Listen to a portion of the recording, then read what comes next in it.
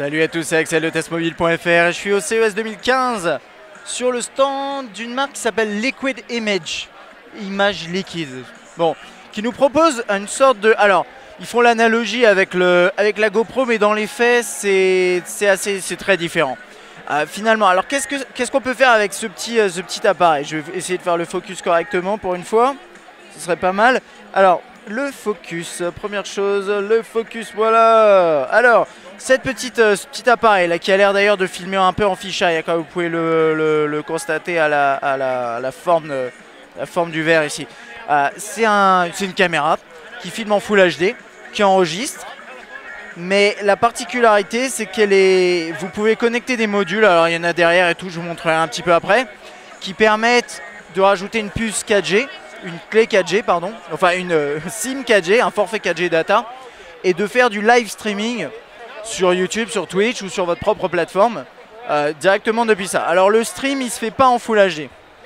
Ça enregistre en Full HD, mais derrière ça va streamer en... Euh, c'est quoi juste en dessous de... Je crois c'est en 640 il me semble, si je me trompe pas.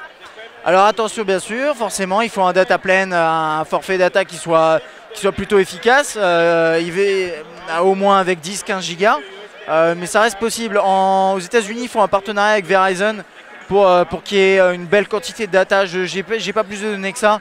Et en France, bon, ça va être un peu compliqué. La CES est toujours très axé États-Unis, bien entendu. Euh, donc ça c'est la première chose.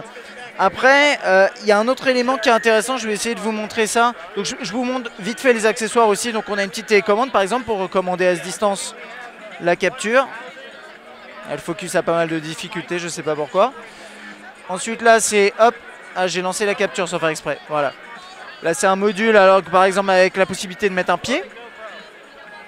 Et également la possibilité, donc ça c'est une batterie normalement mais je crois qu'il y a le module euh, 4G qui est inséré dedans. Là, il y a une petite base ici. Bon, voilà. Plein de petits trucs comme ça. Là, il y en a une autre à côté. Je déplace l'intégralité du truc. Et ce qui m'intéresse encore plus, je vais essayer de vous montrer ça. Euh, alors, la première chose, qu'est-ce que ça va être? Est-ce que ça va être montré là-dessus? Je suis en train de regarder, excusez-moi, sur le papier. Il y, a, il y a un petit exemple ici, qui est tout petit. Et en gros, euh, ce qui est intéressant avec ce produit, c'est qu'il peut se connecter avec vos objets connectés, alors peut-être pas tous, il doit y avoir une liste quelque part, euh, et qui va vous permettre tout simplement, si imaginons vous êtes en train de faire du vélo, et que, vas-y toi, tu te mets à côté de moi, Ok, et que, euh, et, que vous avez par exemple, vous faites du vélo, vous avez une donnée d'altitude, une donnée de vitesse, etc. Eh bien vous pouvez faire du live streaming ou enregistrer de la vidéo et en même temps dans la vidéo afficher vos données. Donc par exemple de cette façon là. Donc là c'est tout petit, je suis vraiment désolé. Euh, je peux pas trop vous montrer. Mais en gros par exemple là, c'est la vidéo, là il y a la carte.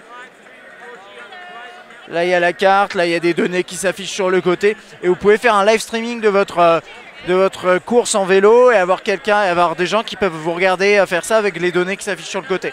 Donc c'est pas inintéressant du tout. Euh, et à côté de ça, il y a aussi toute la partie peut-être sécurité. Euh, sécurité où en fait vous pouvez l'accrocher si vous voulez à un mur euh, chez vous, voilà. Et ensuite après, je vous montre un petit peu ce qu'il y a d'autre là. Non, il y a... bon, on a vu tout ce qu'il y avait à voir, je crois. voilà. Et l'accrocher à un mur. Et ensuite, elle peut, détecter un mouvement. À partir de ce moment-là, à partir du moment où il y a un mouvement qui est détecté, elle peut commencer à enregistrer, mais elle va être capable de prendre les 10 dernières secondes. Euh, enfin, pardon, non, elle enregistre pardon, en permanence en boucle. Et s'il y a du mouvement, elle peut prendre les 10 dernières secondes et les envoyer sur YouTube en 4G. Et donc elle se connecte en 4G que à partir de ce moment-là pour éviter de bah, consommer trop de data, ce genre de choses. Bref, en gros, c'est une sorte de GoPro qui se connecte en 4G avec de la data qui s'affiche et vous pouvez streamer sur n'importe quelle plateforme.